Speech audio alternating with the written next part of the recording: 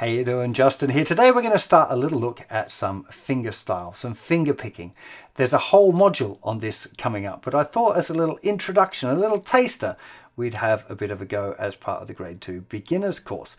Now, for this particular lesson, we're just going to be looking at six eight time, which is really nice as a taster for fingerstyle because we've got this pattern where we can go thumb, one, two, three, two, one. So we're using thumb and three fingers. We don't tend to use little finger for fingerstyle. Some people do, but it's kind of rare and a little bit more difficult. A lot easier to start off with just using the thumb and the first three fingers.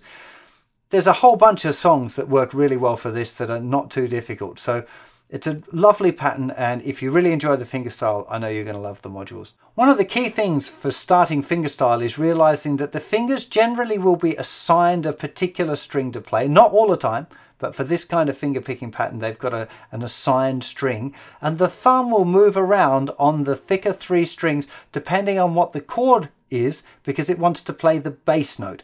Now we're going to start off with a D chord. So for a D chord, the thumb wants to play the fourth string, which is the note D.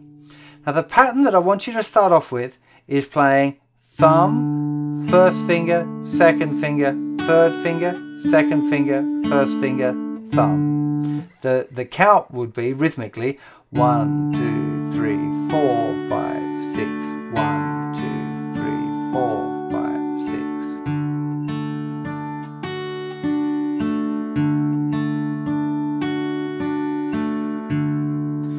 the first thing I want to address is whether you should be anchoring or playing free. Now, with an anchor, I would mean using your little finger to rest on the actual guitar body while you pick the pattern.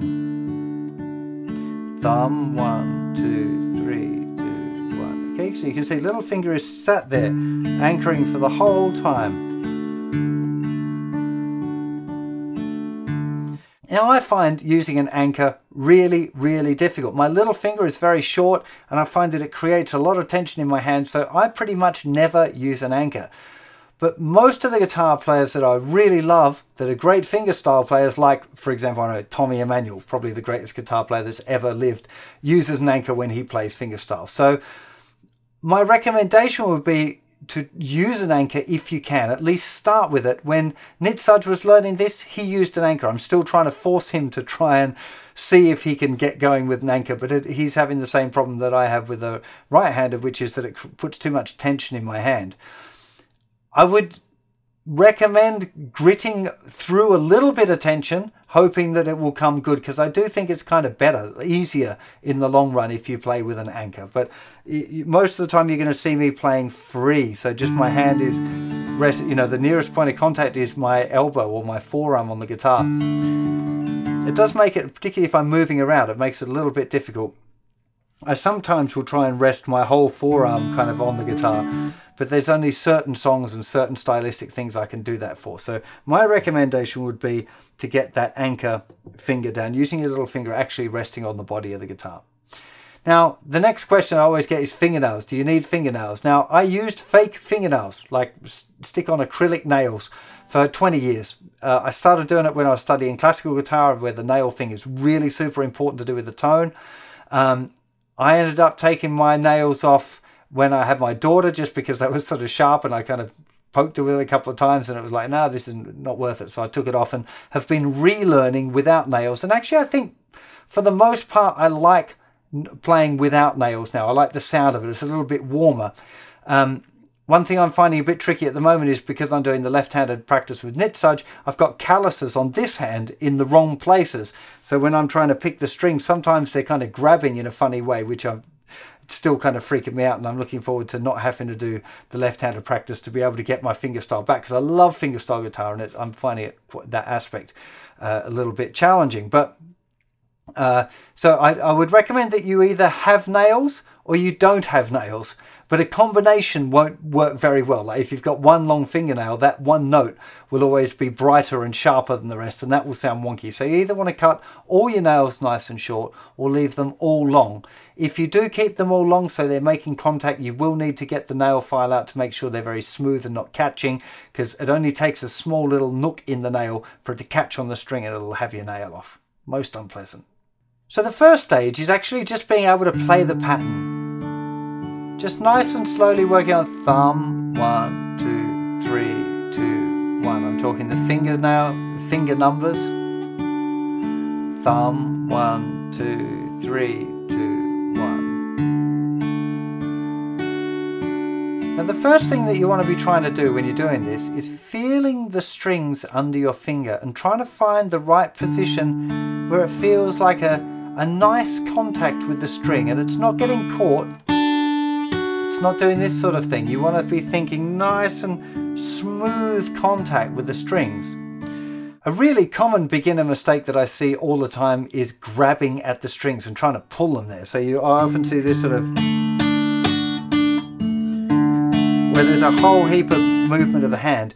The hand, the actual, the knuckles of your, the hand doing the finger picking should hardly be moving. There's a little bit of movement there, but it's not like this. You're not using your hand and arm to pick the strings. By using just your fingers there, you'll get a lot nicer contact with the string. You'll start to feel, it's worth doing this sort of thing as well, just putting the fingers on the strings, one, two and three, and the thumb. And then just feeling, so you can't leave first finger down while you, well you kind of can, but just trying to feel it, trying to get like can, I can hit that callus. There's a callus on that finger which keeps on there. It's hooking. So annoying. So just really trying to feel, trying to make a nice contact. Oh, that third finger is really winding me up. That's a bit better. I've just angled the. You see, I'm slightly changing the angle here. If I go, if I go straight on like this, that tends to get it grabby as well. It is a, a, little bit of an angle this way. So I'm kind of, my fingers are pointing a little bit toward the front there. It's not just that they're, uh, they're not pointing straight down like this. There's definitely some angle there. As well, you want your first finger picking there behind the thumb. Okay, so it doesn't want to be too like that. Well, it can't be that way, otherwise you'd be picking up. But if the further you go around this way, the thumb has to come forward. You got to everyone again with this kind of technique. Everyone's a little different. The shapes of our hands are a little different. So it's okay for it to be a little different. You have to find where it feels comfortable for you and you get a nice sound. And the getting the nice sound is really the key thing here. You want to be thinking about the way your fingers are touching the strings and how it's how how it feels and how it sounds. They'll probably be together where it feels nice under the fingers, where it feels smooth and relaxed. That's where the sound will be the nicest. And a lot of that is just practice and experimenting. So by doing it over and over again, I think, you know, literally just sitting there practicing doing this. It's a fantastic exercise for fingerstyle. Just on the one chord. We're not even changing chords. I'm not trying to do anything fancy. Just really concentrating on the tone of the notes. Trying to get the tone even and the rhythm even. Now, there are times where you might want to do a kind of an interesting rhythm. You might go something like that. But for practice, you want to be thinking this one, two, three, four, five, six, one, two, three, four, five, six. I mean, it does make a difference as well where you pick. If I go back here, feels very different feels different on the fingers. It feels a lot harsher. it's actually feels really hard for me to do it right up there. But you can hear it's a lot rounder. I always feel like this, like just at the back of the sound hole is the right place here. If you right over the sound hole, particularly on acoustic guitar, you kind of end up muffling some of the sound that should be projected out of the sound hole. But so slightly at the back of it, but not too far back you can experiment with those things. So we've got the touch, super important, how you're touching the note, whether you're using an anchor, trying to find that nice balance where you're not playing too hard, not playing too soft, enough to get the notes sounding really sweet, but not grabbing at them, potentially using the anchor finger or not, something you should experiment with. We've got the tone, like where we're playing up and down there. The touch will influence the tone for sure, but you want to experiment a little bit with that. And the time, getting that time really nice. So you've got that nice do, ba, ba, ta, ba, ba, do, da, da, da, And really trying to feel that as a nice even rhythm is also going to lift your game considerably. So I mentioned earlier as well the importance of the bass note and the thumb playing the bass note. So for any D-type chord, so D and D minor, you're going to be playing D, the open D string. And for D minor 7 and D7 sus4 and any other D-type chord, your thumb want to be playing the fourth string. For a C chord, the note C is found there on the fifth string. Same with A minor. That's also on the fifth string.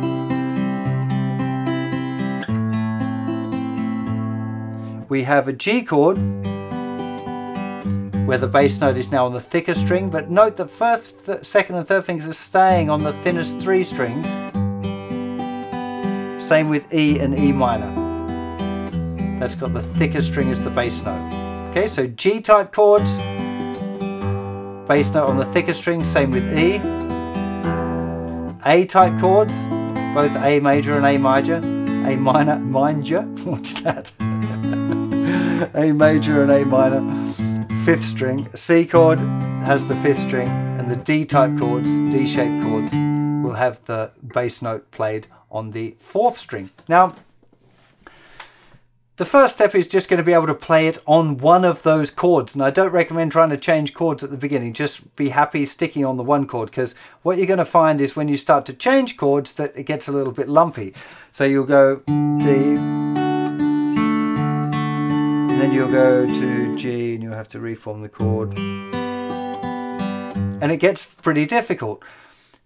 As you progress at this, you'll find that sometimes you can put your fingers down in an order that makes sense for the finger picking pattern. Like for a G chord, you want to put that bass note down first. So if you're going from the D, when I go to the G, I can get the bass note. Now little finger goes down. Oh, little finger's just going down as I need it. It's not recommended, but that might help you because the difficulty with most of the fingerstyle stuff once you can do the pattern is keeping the pattern consistent while the chords change. That becomes the thing that is most difficult most of the time when you're a beginner. It's not actually just playing the changes. There are loads and loads of great beginner fingerstyle songs in 6-8 I think that the, the best one by quite some way for me is Everybody Hurts, even if the bridge has got some bar chords in it, which you will be able to substitute for power chords in the next lesson. So that might not be a, a bad song to be able to do, knowing that you're just not going to be playing the bridge yet.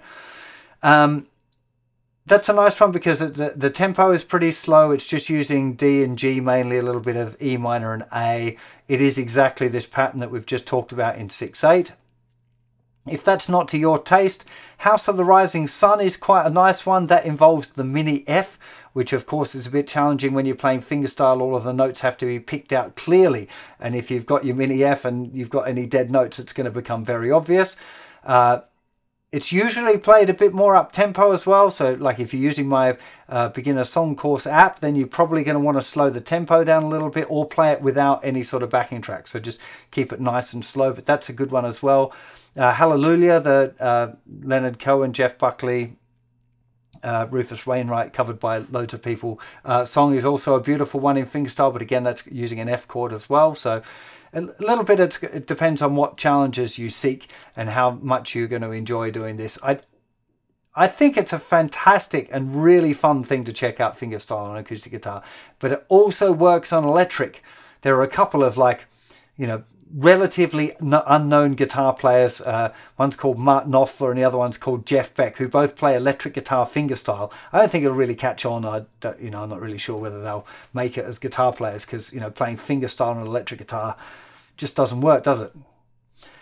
You know, of course it works on electric guitar as well. You know, so there are great examples of of people playing fingerstyle on electric guitar the particular pattern that I'm showing you now is kind of more of an acoustic styled thing, I suppose, but there are definitely examples of electric guitar being played fingerstyle that are absolutely as good as it gets stuff. So if you're an electric guitar player, don't just skip over the fingerstyle thing and think that you should ignore it.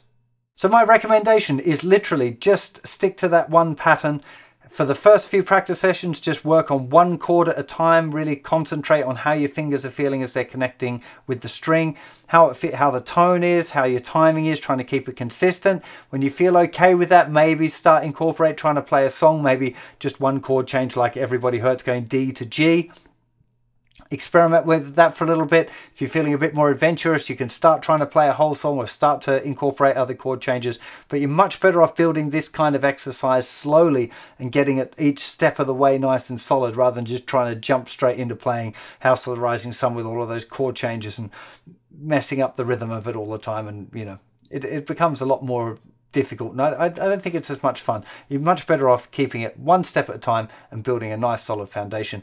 Really appreciate your support and let me know how it is that you're getting on with these exercises. If you're over on the website, let me know in the comments. I'll be trying to respond to them and help anyone out who's having a bit of a struggle. If you happen to be over on YouTube, you probably want to go and check out the website. There'll be a link in the description. But before you do that, I'd really appreciate it if you hit that subscribe and like button. It really does make a big difference. Hope you're enjoying all of this and I'll see you for plenty more very soon.